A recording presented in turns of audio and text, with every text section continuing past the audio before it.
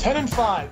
The Arizona Cardinals are. Yes, they backed into the playoffs. They've lost three consecutive games. They're going to face the Dallas Cowboys, which is a hot football team right now. On both sides of the ball, you look at the Cowboys, what they've been able to do. They just crushed my Washington football team. It was embarrassment, 56 to 14. Coach, when an offensive lineman and a defensive lineman on your team scores against the opposition, it's a bad day for the opposition, and it was for the Washington football team. But if you look at what they're able to do, they didn't run the ball that effectively, but Dak Prescott was out throwing the football 330 yards and four touchdowns.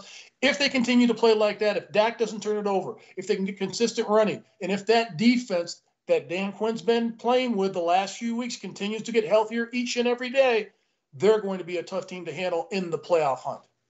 I, I agree with you on uh, the Cowboys. That's why I said I thought Dak Prescott was a candidate for the player of the year in the NFL because I think he's just coming on strong. He's going to play very, very well in the playoffs. But, you know, you're in good position when the two opposition linemen slug one another during the course of the game. Mark, that doesn't, that doesn't sound very good for the Washington football team. But the Cowboys are a good football team. I, I know Ezekiel Elliott is rushed for 900 yards this year, but I tell you, I think Pollard is a guy that really gives them a big play potential. They have great receivers, great offensive line. Their defenses play well. And you look at Diggs and how many times he intercepts. I wouldn't throw to his side. I, what do you have? Eight or nine interceptions, which is more than most teams have. Eleven. He's got. I mean, he's unbelievable in, in the way he goes to the ball. But let's look at uh, let's look at the Cardinals. I think they're a dangerous football team. Anytime you have Murray quarterback, he is very dangerous. But you look at the receivers, A.J. Green, DeAndre Hopkins, Ertz now at tight end. I, I, mean, they're capable of really exploding. They're not playing very well right now because they're not doing little things the right way. They're making foolish mistakes. But I do think that they're a dangerous football team. I think the Cowboys prevail 31-24 because if something were to happen, like the Vikings were to beat the Green Bay Packers, the Cowboys would end up with the number one ranking. That means they'd have an open date the first week, and then the next two games would be at home. Well, DeAndre Hopkins, hopefully he'll get back for the playoffs. You look at James Conner, hopefully he comes back for this game. He's got a heel injury, I believe, and he's their most physical player offensively. This team has been known to be a finesse, finesse football team, and it's caught up with them again.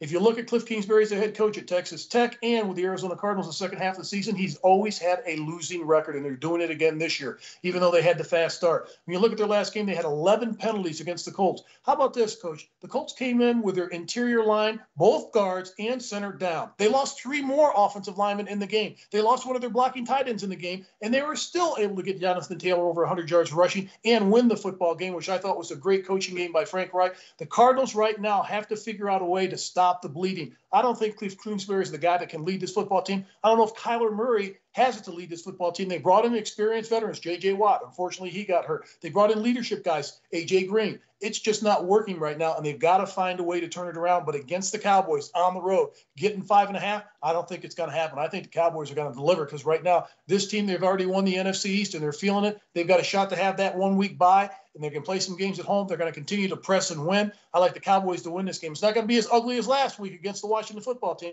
I think the Cowboys win big in this game. I'm going to Cowboys 38. I'm going to Arizona Cardinals 24.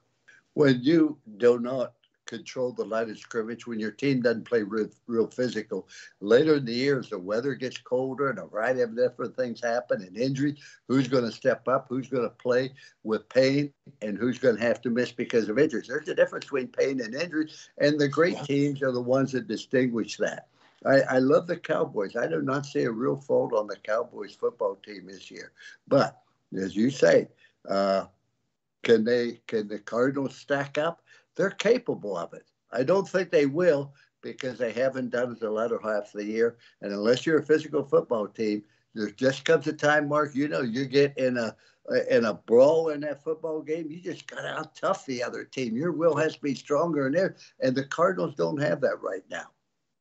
Cowboys do, especially on defense. When you've got Demarcus Lawrence coming back, Randy Gregory coming back, and the way that they played the last couple weeks, they've gotten healthier now that they're getting to be 100%. And Micah Parsons, that guy is lights out. I don't care what anybody says. I played against Lawrence Taylor. This kid reminds me of Lawrence Taylor, the way he just is relentless going after the football. And he's going to be the Kyler Miller Curry uh, killer in this game because he's so athletic. I believe he gets at least two sacks on Kyler Murray and a couple of tackles for losses. I like the Cowboys, like I said, to win big 38 24. Well, he might get a chance to get a couple of sacks on Murray, but that's easier said than done. He could be in a position, but Murray is so elusive there. But I did like what Jerry Jones said. He said, I think our defensive front seven is as good as when we won the Super Bowl. That's big. Oh, come on, Jerry. That was decades ago. that was a that was last century. I'm telling you, Mark, this this Dallas Cowboy football team is destined for greatness this year. They're getting hot at the right time. Yep.